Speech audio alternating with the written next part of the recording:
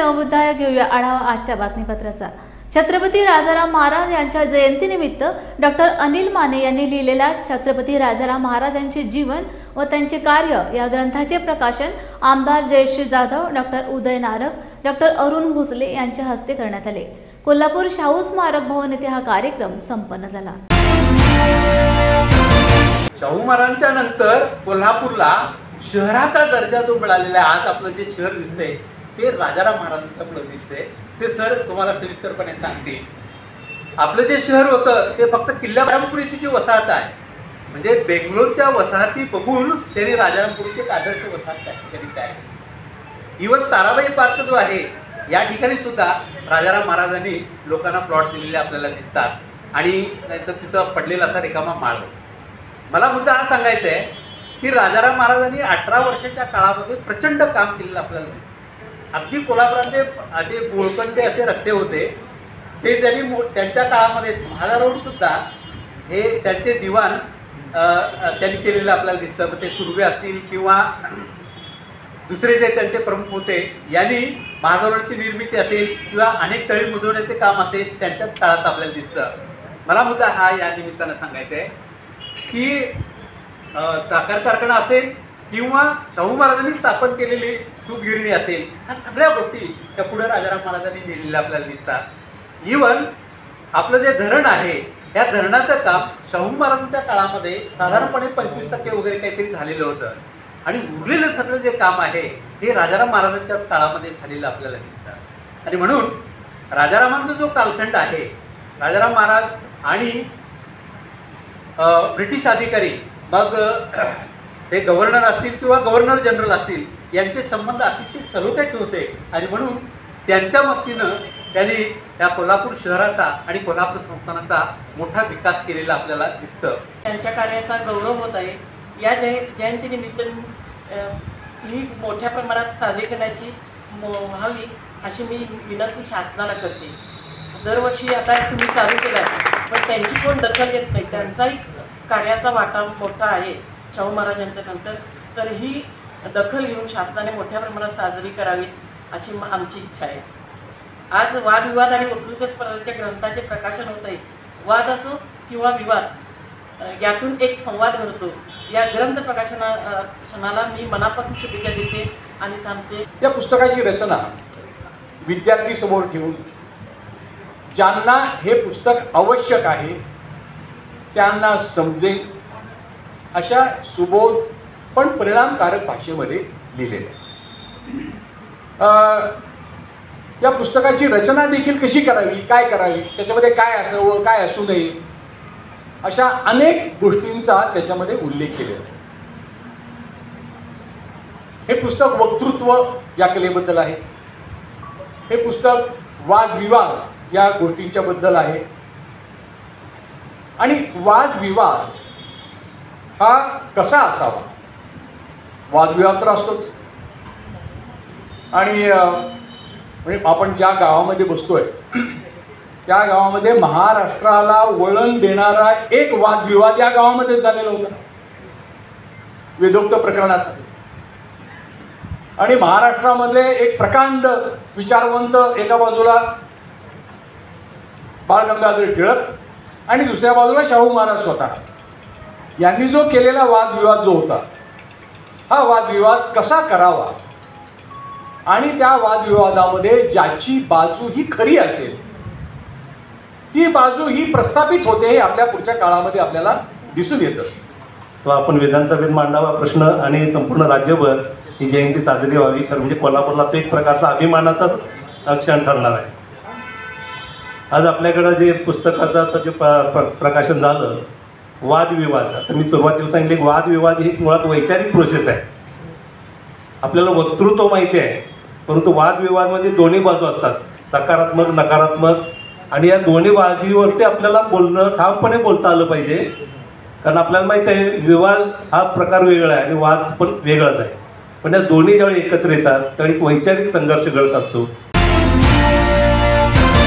जागतिक अवयवदान दिनाच्या निमित्ताने नांदेड येथे डॉक्टर शंकरराव चव्हाण शासकीय वैद्यकीय महाविद्यालयाच्या वतीने शहरातील महात्मा फुले व सावित्रीबाई फुले यांच्या पुतळ्यापासून ते जिल्हाधिकारी कार्यालयापर्यंत अवयवदान जनजागृती अभियान रॅली काढण्यात आली. जिल्हाधिकारी अभिजित राऊत यांनी रॅलीला हिरवी झेंडी दाखवल्यानंतर रॅलीची सुरुवात करण्यात आली. याप्रसंगी विशेष पोलीस महानिरीक्षक शहाजी उमा पोलीस अधीक्षक कृष्णा कोकाटे मनपा आयुक्त डॉक्टर महेश कुमार डोईफोडे अधिष्ठाता डॉक्टर सुधीर देशमुख यांची उपस्थिती होती. अवयवदान किंवा अंगदान हा अतिशय महत्त्वाचा परंतु फार चर्चेत नसलेला असा एक इनिशिएटिव्ह असतो. आपण गेल्या काही दिवसांपूर्वी बघितलं नांदेडमध्ये डोके परिवार आहे. त्यांच्या घरामध्ये दुःखद घटना झाली आणि त्यानंतर ज्यांचं निधन झालं होतं त्यांचं ऑर्गन डोनेशन असल्यामुळे त्यांना ग्रीन कॉरिडॉर आपण उपलब्ध करून देऊन ते ऑर्गन ट्रान्सप्लांटची पूर्ण प्रक्रिया झाली होती.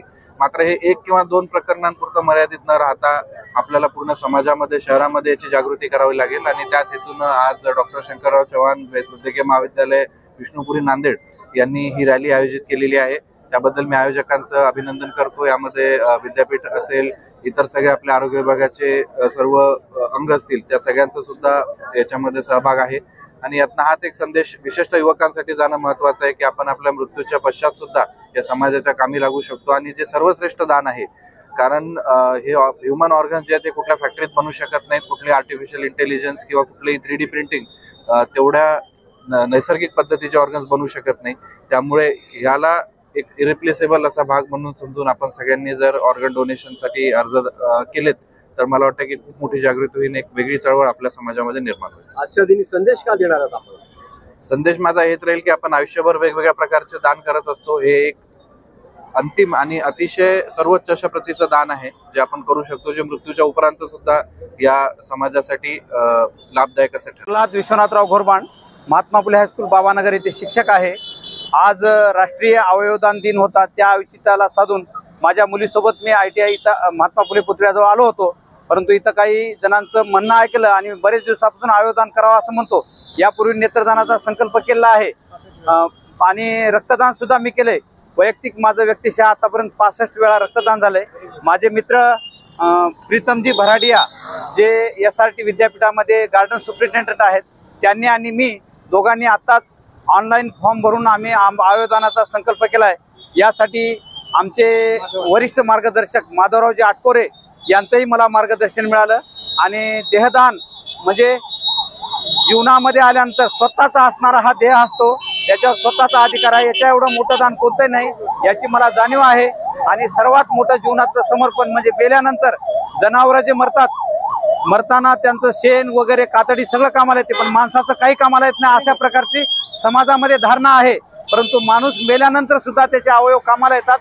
जाता जाता मरावे परी अवयवदान रूपी उरावे.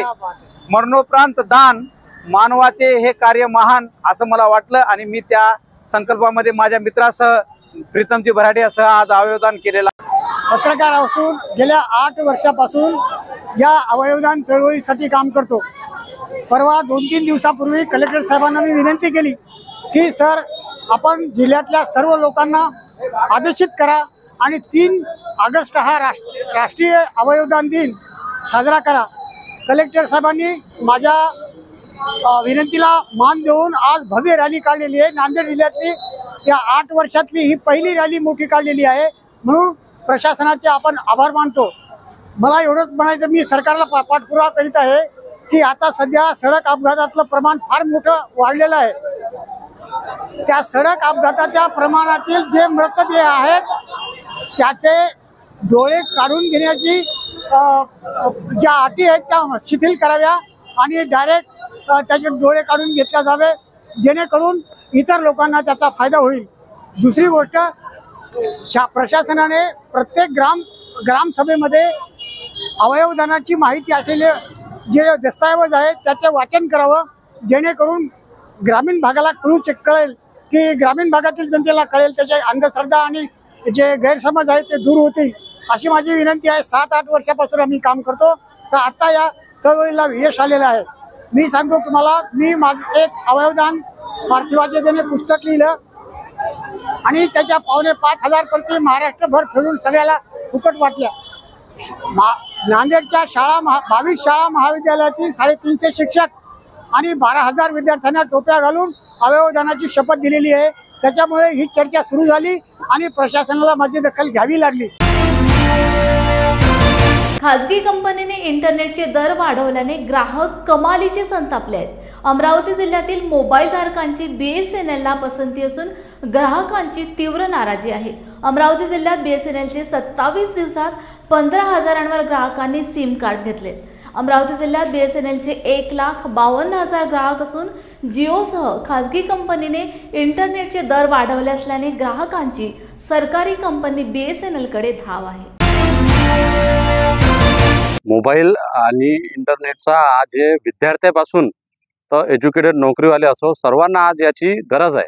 आणि एका दमाने या कंपन्यांनी जिओ असो एअरटेल असो या सर्व कंपन्यांनी एका दमाने दर वाढव वाढवणे यामुळं एकदम आज पूर्ण जे देशामध्ये आणि पूर्ण जिल्ह्यामध्ये आज अमरावती जिल्ह्यामध्ये सर्वांची धाव ही बी एस एन एल कंपनीकडे जात आहे. बी एस एन एलच्याच इकडे आज वळत आहे. यांनी जो वाढ- याचा रोष आहे या कंपन्याच्या बद्दल ना सामान्य नागरिकांमध्ये खूप रोष आहे. आणि यांनी हा ज- दर वाढवला याच्या विरोधात काही ना काही शासनाचे यांच्या कंपन्यावर शासनानं कडक कारवाई करावं अशी आमच्या सर्व सामान्य जनतेची आणि कार्यकर्त्याची याच्यात मागणी आहे. अरे सुनीता जरा देखो तो कौन है? अरे अनु तू? कैसी हो? बढ़िया हो। बैठ मैं अभी आई।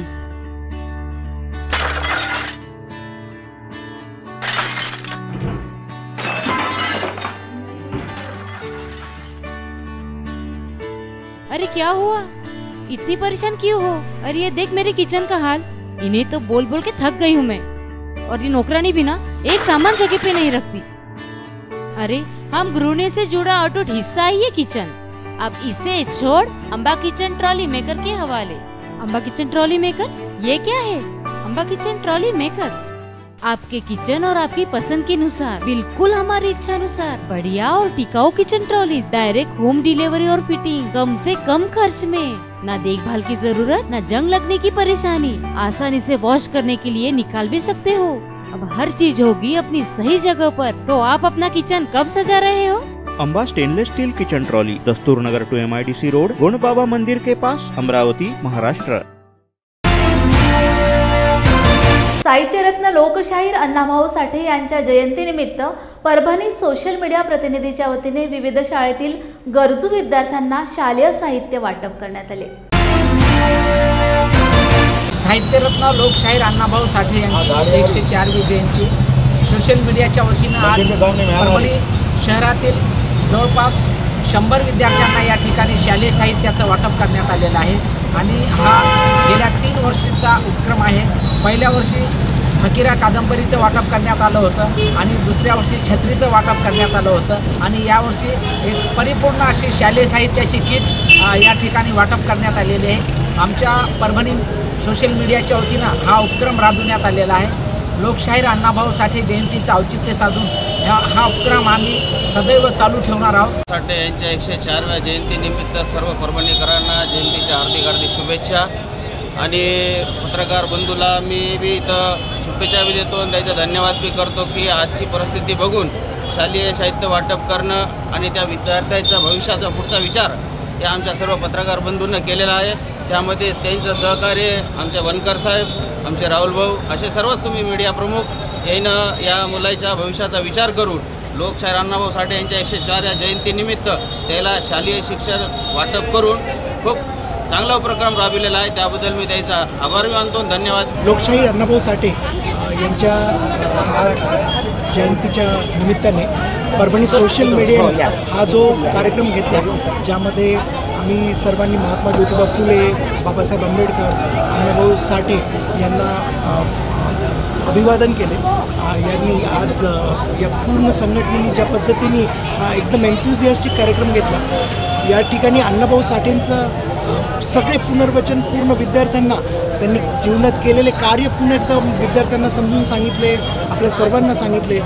अण्णाभाऊ साठेंच्या फकीरा या कादंबरीच्या बद्दलही आज मुलांना त्यांनी ज्ञात करून दिलं.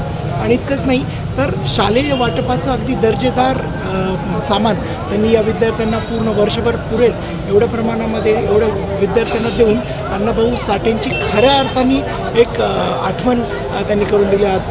वरतून सा अण्णाभाऊ पण खुश असतील की आपल्या या माध्यमातून या संघटनेने ज्या पद्धतीने एक पॉझिटिव्ह एनर्जीने एक काम केलं पूर्ण संघटनेला याबद्दल अभिवादन. अण्णाभाऊ साठेंच्या जयंतीनिमित्त त्यांनाही अभिवादन. आगामी विधानसभा निवडणुकीच्या पार्श्वभूमीवर सर्वच राजकीय पक्षांनी रणशिंग फुंकले असून नांदेड जिल्ह्यातील देगलूर बिलोली या अनुसूचित जाती राखीव मतदारसंघात काँग्रेस पक्षाने निष्ठावंत व धडाडीच्या बौद्ध समाजातील सक्षम कार्यकर्त्याला उमेदवारी द्यावी अशी आग्रहाची मागणी महाराष्ट्र प्रदेश काँग्रेस कमिटीच्या अनुसूचित जाती विभागाचे प्रदेश उपाध्यक्ष प्रफुल्ल सावंत यांनी मुंबई येथे पार पडलेल्या पक्षाच्या राज्यस्तरीय बैठकीत प्रदेशाध्यक्ष नाना पटोले यांच्याकडे केली आहे. यांच्यासह अनेक कार्यकर्त्यांचा यावेळी सहभाग होता. जय भीम.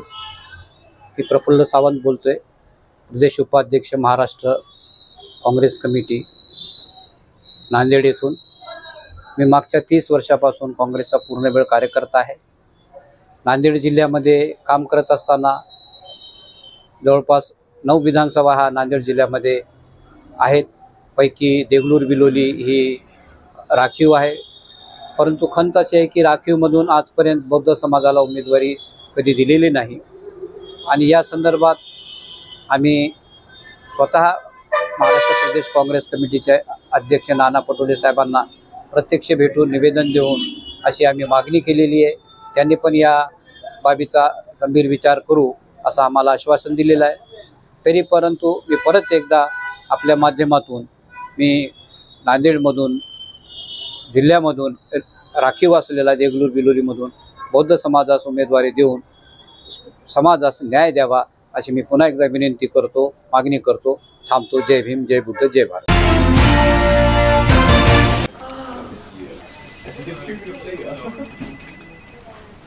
बॉस ने मीटिंग बुलाई. क्या यार? आदमी की तकलीफ़ को तो समझो।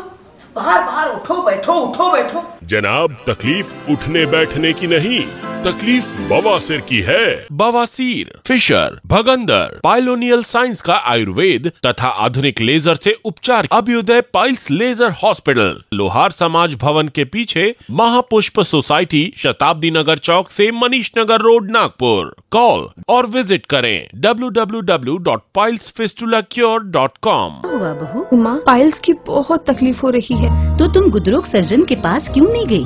देखो जैसे हार्ट के लिए हार्ट स्पेशलिस्ट ब्रेन के लिए ब्रेन स्पेशलिस्ट।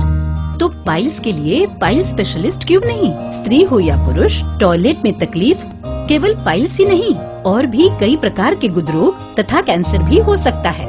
इसीलिए इसकी प्रत्यक्ष जाँच ज़रूरी है। ठीक है माँ पर जाँच के लिए हम जाएँगे कहाँ? वही काले आयुर्वेदिक पाइल्स हॉस्पिटल में। लेकिन माँ प्रेगनेंसी में पाइल्स की दवाइयाँ? प्रेगनेंसी में आयुर्वेदिक दवाइयाँ सुरक्षित होती है। जनहित में जारी काले आयुर्वेदिक पाइल्स हॉस्पिटल, औषधि चिकित्सा तथा सर्जरी ट्रीटमेंट उपलब्ध। हमारा पता, Umred road, Dighori bus stop के पास नागपुर। अधिक जानकारी के लिए वेबसाइट पर जाएँ, Kale piles hospital dot com Kolhapur Shahu स्मारक भवन येथे जोशाबा विचारवंतेतर्फे अण्णाभाऊ साठे यांची जयंती साजरी करण्यात आली. सर्वप्रथम मान्यवरांच्या हस्ते अण्णाभाऊंच्या प्रतिमेचे पूजन करण्यात आले. यावेळी मराठा महासंघाचे राज्य उपाध्यक्ष वसंतराव मुडिक मल्हार सेनेचे बबनराव रानगे बी के कांबळे सुशीलकुमार कोल्हटकर नामदेवराव कांबळे उपस्थित होते. आभार शाहीर बाबूराव कांबळे यांनी मानलेत. आज लोकशाहीर अण्णाभाऊ साठे यांच्या एकशे चाराव्या जयंतीनिमित्त सालाबादप्रमाणे जोशाबा विचार मंचच्या वतीनं आम्ही शाहिरीज मजरा हा कार्यक्रम सादर करत असतो. परंतु नैसर्गिक आपत्तीमुळे तो कार्यक्रम रद्द करून इथं आज प्राध्यापक डॉक्टर अनिल माने यांचे व्याख्यान अण्णाभाऊ साठे यांच्या विचाराची प्रस्तुतता हा इथं व्याख्यानाचा विषय असल्याने तो संपूर्ण ऐकविण्यात आला आणि या कार्यक्रमासाठी अनेक मान्यवर इथं उपस्थित होते. यामध्ये माननीय वसंतराव मुळीक बबनराव रानगे शाहीर बाबूराव कांबळे सुशीलकुमार कोल्हटकर बी के कांबळे इस्पुर्लीकर शाहीर दिनकर कांबळे असे अनेक मान्यवर इथे येऊन अण्णाभाऊ साठे यांच्या जयंतीच्या निमित्तानं शुभेच्छा व्यक्त करून त्यांच्यावरचे साहित्यावरती चर्चासत्र करून आज त्यांनी हा कार्यक्रम अतिशय पाऊससुद्धा असतानासुद्धा आज या ठिकाणी मोठ्या प्रमाणामध्ये साजरा झाला. हीच फुले शाहू आंबेडकरांची प्रेरणा आणि चिकाटी असं म्हणावं लागेल. आणि अण्णाभाऊ साठेंना आमचं विनम्र अभिवादन. जय भीम जय बुद्ध जय भारत. जाता एवढंच बोलतो की कोल्हापुरी पुरोगामी मोडण्यासाठी प्रचंड पैसे लावा लागले सर आपली गणेश चतुर्थी आहे. अमुक आलं. शिवजयंतीला कधी डॉल्बी लावले बघितलं होतो आम्ही हो. डॉल्बी या मिरवणुकीला लावले होते. हा पैसा कुठनं आला असं? आणि धर्मांधपणा कसा आला असं? याचं चिंतन आपण करायला पाहिजे. मग बाबासाहेबांनी त्याला पण आता लावा लागलेत आता शिवजयंतीला पण लावा लागलेत त्या अगदी कालच्या आमच्या टेबलाबाईच्या यात्रा आपण आहोत डॉल्बी आले हे पैसे कुठं आले? हे आपण चिंतन केलं तर आपल्या हे देखील जाता फक्त पाच मिनिटं बोल दोन मिनिट बोलतो. पाच मिनिटं. की स्वातंत्र्यपूर्व काळामध्ये पुढे जेव्हा आंबेडकरांचा विचार करताना त्यावेळी ब्राह्मण ब्राह्मणेतर चळवळ करा. ब्राह्मण ब्राह्मणेतर. का ब्राह्मणांचे विरुद्ध होते का? त्या ब्राह्मण सुद्धा होते. आणि ती ते समाजात जातीयता असेल अंधश्रद्धा असेल रूढी पण आपण विज्ञानवादी राहून या ब्राह्मण ब्राह्मण चळवळीमध्ये ब्राह्मणांना आता वाटतं की आता आपलं अस्तित्व नष्ट होतंय. मग त्यांनी पद्धतशीरपणे मग तो मोरमला परे गणपती आणला आणि हळूहळू हळू स्वातंत्र्यानंतर आरक्षण लागू झालं. मराठ्यांना नाही इतरांचा काही संबंध नव्हता पण ते दलित दलित चळवळ चालू शाहीर विजयानंद जाधव यांच्या स्मृती समारंभाच्या निमित्ताने तापडिया नाट्य मंदिर निराला बाजार छत्रपती संभाजीनगर येथे बुद्ध आणि भीमगीतांच्या मैफिलीचे आयोजन करण्यात आले. अनेकांनी शाहीर विजयानंद जाधव यांच्या स्मृतींना उजाळा दिला. शाहीर जाधवांची लेखणी ही चिरकाल टिकणारी असून ती अनेक पिढ्या समाजाचं जागरण करेल कारण ही लेखणी महाकवी वामानदादांचं प्रतिबिंब असणारी लेखणी होती असं मत अनेक मान्यवरांनी व्यक्त केले. खरा होता भीमराव कोहिनूर हिरा. एक दयेचा झरा खरा होता भीमराव कोहिनूर हिरा. ज्ञानाच्या शक्तीनं त्यानं फिरवलंय जगभवती दरगरा पुढे नेणं आवश्यक आहे म्हणून विजयानंदांनी गाणी लिहिली लोकगीतं लिहिली परंतु चित्रपटात ती दिली नाहीत. की प्रचंड दारिद्र्यामुळे सिंगर विजयानंद. त्या दिव्याच्या वाती होत्या. मी विजयानंदाला अंतःकरणपूर्वक अभिवादन करतो. थोडंसं लांबला असेल राहुल म्हणाला पण इलाज नाही. आ? इलाज नाही. त्याचं कारण असं आहे की निर्विवादपणे अमोल सुद्धा एक अतिशय उत्कृष्ट असा शास्त्रीय गायक आहे.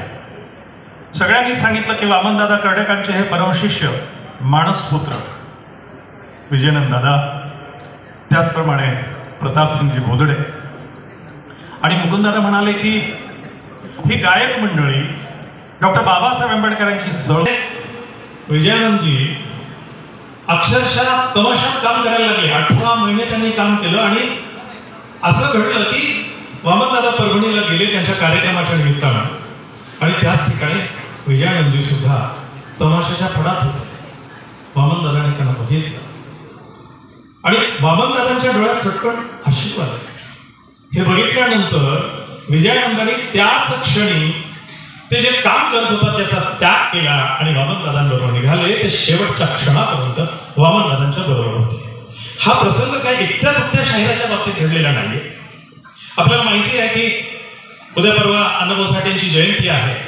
अण्णाभाऊ साठे किती मोठ्या प्रतीचे साहित्यिक होते शाहीर होते हे आपल्याला सांगण्याची गरज नाही. एकोणीसशे एकोणसत्तरला ज्या वेळेला अण्णाभाऊ साठे यांचं निधन झालं अण्णाभाऊ साठेंचं प्रेम तीन दिवस त्या घरामध्ये पडून होतं. कोणाला कळत नव्हतं की अण्णाभाऊ घरामध्ये मरून पडलेले आहेत. एक म्हातारी बाई शाहीर विजयानंद जाधव यांची क्रांती सूर्य तू भीमारे दलितांच्या होता पाठी क्रांती सूर्य तू भीमारे क्रांती सूर्य तू भीमारे दलितांच्या होता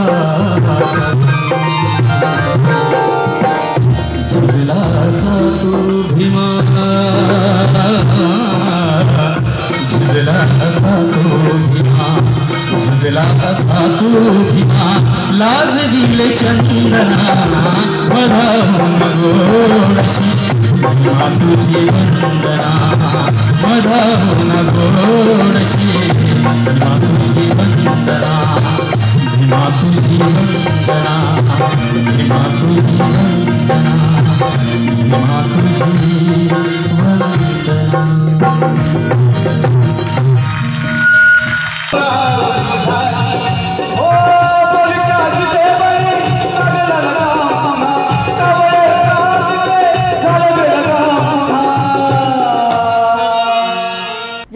बातमीपत्रात घेऊया. इथेच विश्रांती. पुन्हा भेटूया. ताजा घडामोडी घेऊन. जय भीम